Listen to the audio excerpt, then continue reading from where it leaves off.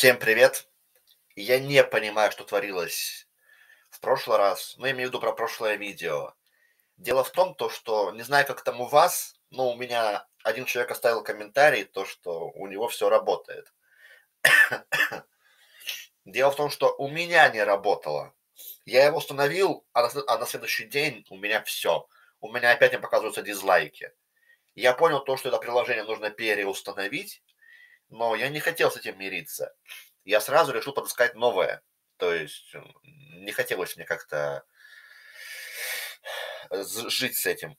Ну так вот, смотрите, счетчик лайков на ютубе – это уже другое приложение, а, ну то есть расширение. Chrome опять же а, обновлено 9 декабря, размер довольно маленький, куча языков, среди них есть и русский, и английский, и французский, если у вас так интересно, и украинский, среди зрителей которых у меня нету.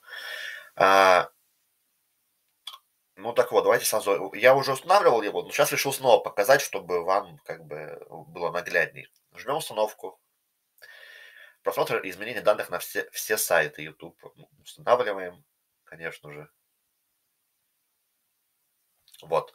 Управлять расширением можно на вкладке расширения меню инструменты. Ну, как все и всегда. Вот жмем кнопку расширения, цепляем его, закрываем, открываем это видео. Вот сейчас, видите, вот тут нету, да, дизлайков. Сначала уберем звук. Мне проблемы не нужны.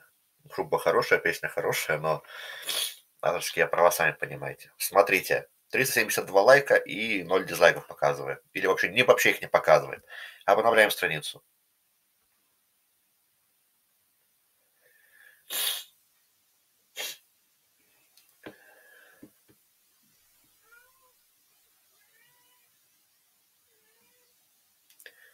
Вот, обновили.